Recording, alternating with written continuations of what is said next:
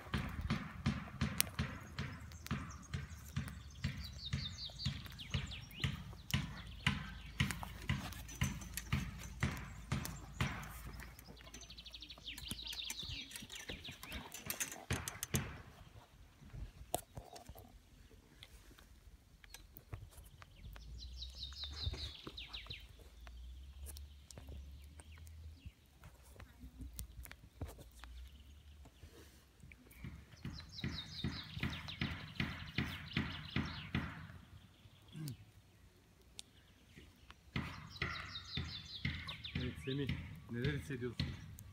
Görüşlerini alalım hocam. Hiçbir şey hissetmiyorsun. Gece ıslandık, yağmurun altında. Yok değil mi yavrum? Güzel oldu. Güzel koştu.